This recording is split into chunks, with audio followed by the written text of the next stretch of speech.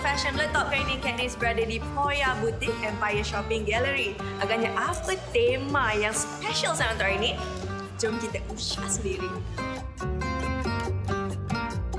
College saya akan buat high tea yang bertemakan retro. So, confirm ramai akan pakai polka dot. Saya nak something different. Okey, kalau cakap pasal era 60-an, saya teringat pasal Bidu Wanita Saluma. Saya harap sangat Katniss dan Team Fab meletup dapat tolong saya.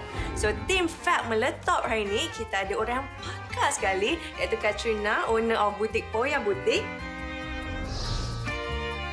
dan juga Didi sebagai makeup artist. Apa kata kita go back to basic? Macam baju yang kita tunjuk kat belakang ni. So, Wow. This is very Saloma.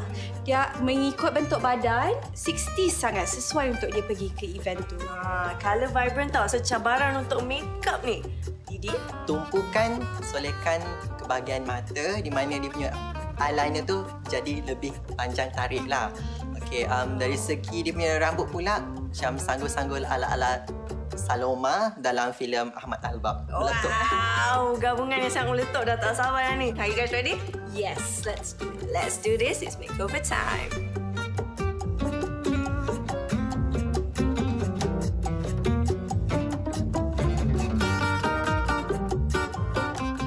Okay, dah excited dah ni. Sambil nervous bercampur bau sebab kita menghasilkan Saluma Junior. So, Amani, come out. Okay, perasaan. Dia mesti nak tahu. Um, saya sangat happy sebab saya suka kan Saloma punya gaya.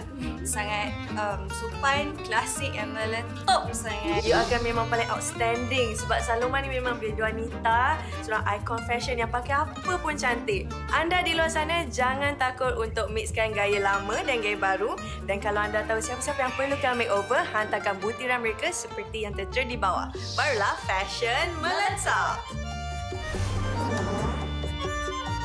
Untuk yang suka beraksesori rambut, apa kata selitkan bunga besar dekat telinga ataupun apa saja aksesori rambut yang bertemakan floral barulah nampak bold. Bagi yang suka pakai top, peplum top tu, ha, apa kata kita padankan dengan celana ataupun kain sarung barulah nampak klasik.